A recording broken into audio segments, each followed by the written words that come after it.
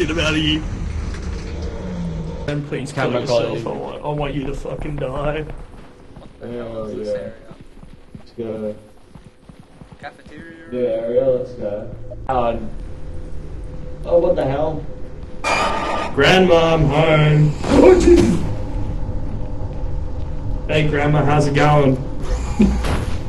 hey, Grandma, what you doing? Why are you hitting the walls? Grandma, calm down. Grandma, calm down, alright? Just calm down. Was that? This is. Oh, alright, where's Cooper? He's right there. No. He's dead. Oh, you suck ass.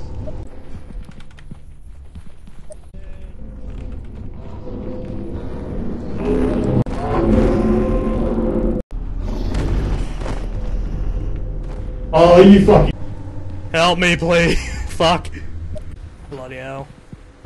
I have no idea where the fuck I'm going. This is gonna be my fucking grave.